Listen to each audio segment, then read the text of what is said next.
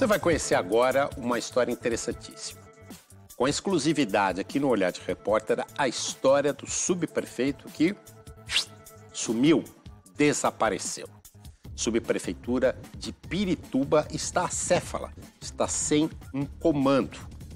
A reportagem é de Fábio Beriti.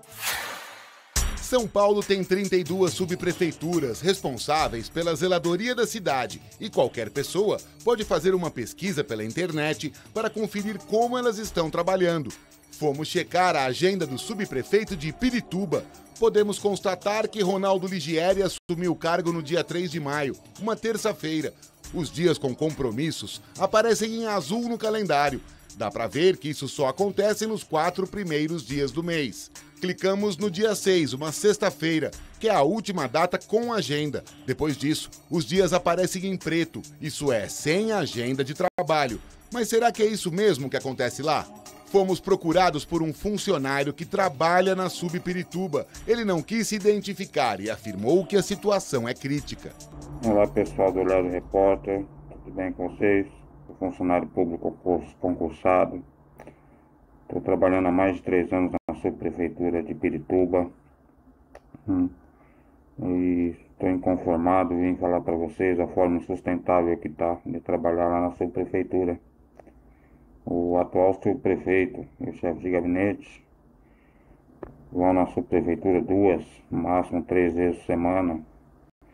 Ficam meia hora, uma hora no máximo, só assinam alguma papelada deixa os pedidos de relatoria para lá, não dá andamento, aí as coisas vão se acumulando, então tá uma bagunça lá todo o território e tá bem difícil de trabalhar lá.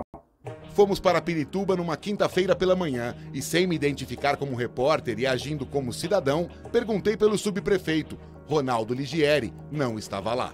Recebemos outras reclamações sobre o subprefeito por WhatsApp. A primeira mensagem fala em caos na subprefeitura. Essa outra afirma que ninguém consegue falar com o subprefeito.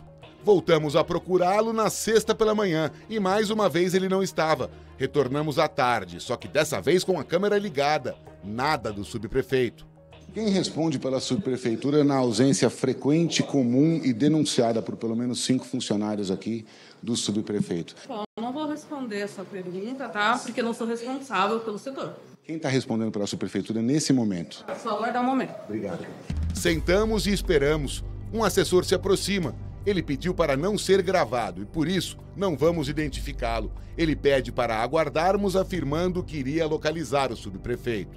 Na nossa terceira visita, mais uma vez, não conseguimos falar com o subprefeito. E ficamos 40 minutos esperando por uma resposta. Assessores agitados tentando localizá-lo e não foi possível. O desempenho do subprefeito Ronaldo Ligieri chama a atenção. A quantidade de reclamações sobre zeladoria que não são resolvidas é usada para medir o desempenho de cada uma das subprefeituras. Quanto maior o número de pedidos em aberto, pior o desempenho da subprefeitura. Conseguimos com exclusividade os dados que mostram que a Sub de Pirituba lidera com folga o ranking de pedidos em abertos no mês de setembro.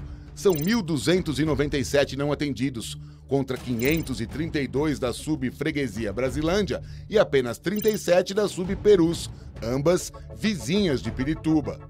Ronaldo Ligieri foi indicado ao cargo pelo vereador Marlon Luz.